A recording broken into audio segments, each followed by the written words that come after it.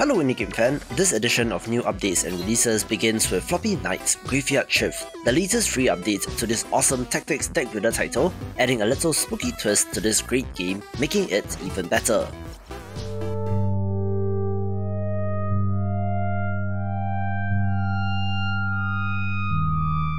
A curious entry that got my attention is Stella Pastoris, a 1-bit city builder title that looks to have RTS influence. You operate this floating skull thing that kind of looks like a StarCraft Zerg overlord, extending your protection to the colony as they struggle to survive.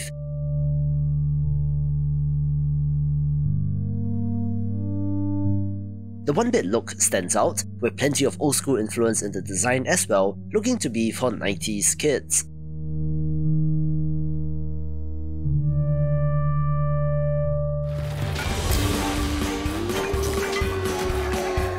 This video is brought to you by Rubber Bandit's Spooky Spree, a seasonal event for this wacky local multiplayer title that is just in time for Halloween, running from the 20th of October to the 10th of November. Critically, this adds 3 new permanent weapons in the Rope Gun, Pumpkin Grenade and Cursed Book, as well as spooky character skins and 3 new spooky levels, making it perfect for this time of year. Playing as criminals, it is all about trying to get as much cash as you can, but the physics-based action does lead to all sorts of hilarity.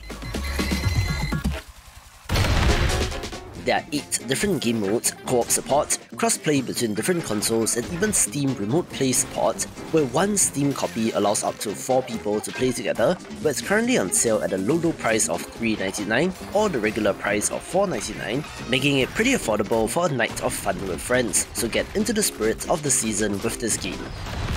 Rubber bandits.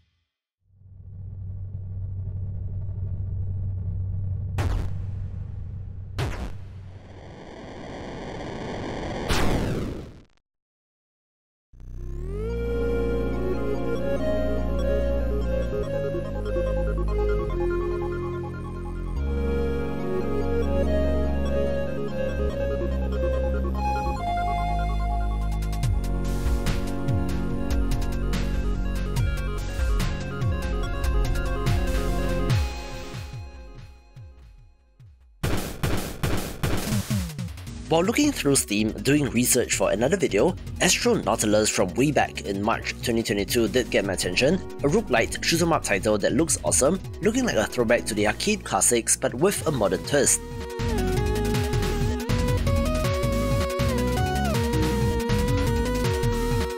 In fact, this does remind me of the awesome roguelite Monolith in many ways, especially in the arts and UI, where there are procedurally generated enemy waves and a whole bunch of in-run upgrades.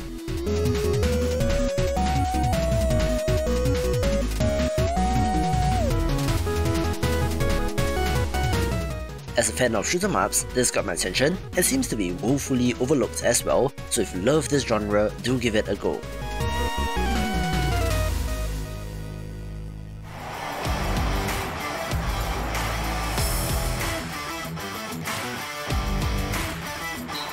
The developer of Pixel Cup Soccer Ultimate Edition did reach out to me, and as someone who grew up with games like FIFA 95, this certainly got my attention.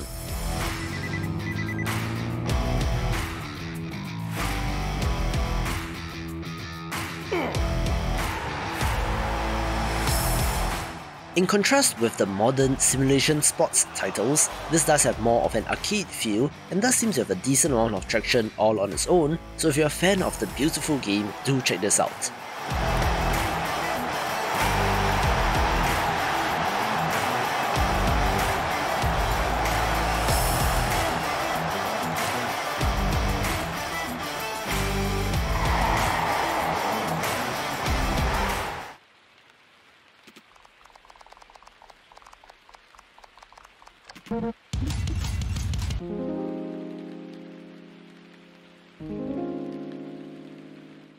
One of the more interesting curiosities in recent memory is Dead Deadeye Deepfake Simulacrum, one that, despite the rather simple top-down look, is actually an immersive sim where you play as a corporate agent having to hack computers and to get information while mastering guns, time manipulation and supernatural abilities as well.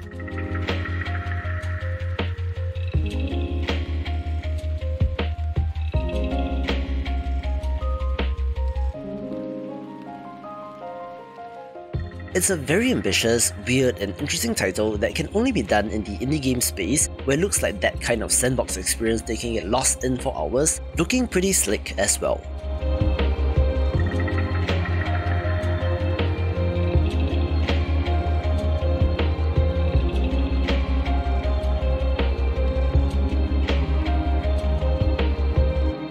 As a child, my parents would tell me stories of a land where every belly is full, every person is clothed, where peasants can become lords, a beacon of hope, culture, and art.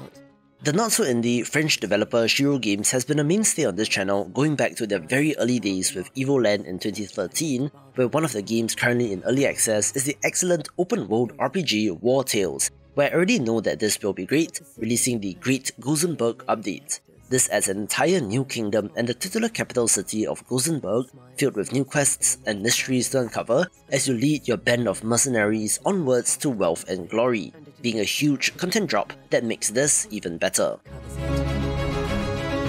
Win over the audience, and you win Gosenberg. Truth is a lie. Trust no one. Why are you still listening to me?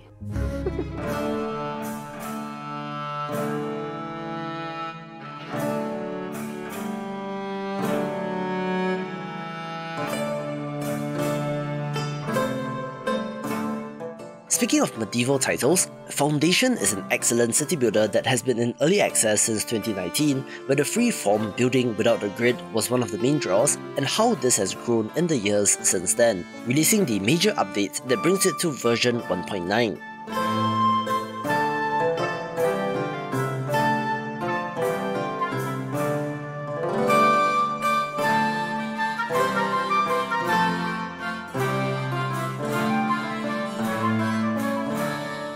Critically, this revamps the progression system and adds a whole bunch of new content such as new buildings, a taxation system and optional tracking systems for achievements, where if you love city builders, this is one to get, with plenty to enjoy as we march towards the 1.0 release.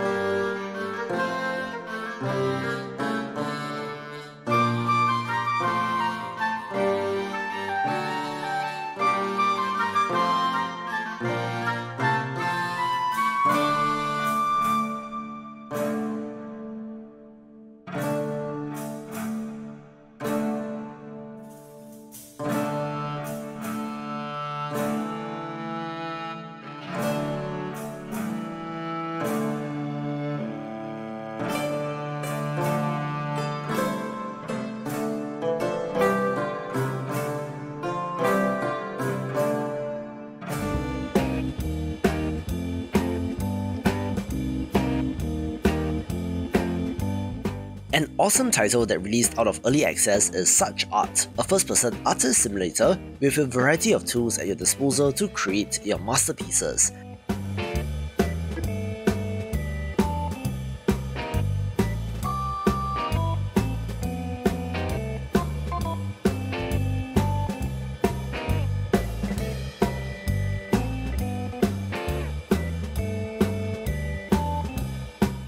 It has quite an interesting meta story and setting as well, since it is set in the year 2130 on board a space station, but where, down on Earth, things are possibly going rather bad with the robot uprising and the rise of crab-like creatures or aliens. But hey, art is at a premium as always, so you do have to find your way, where the physics of the tools is surprisingly robust and is not just another first-person sim.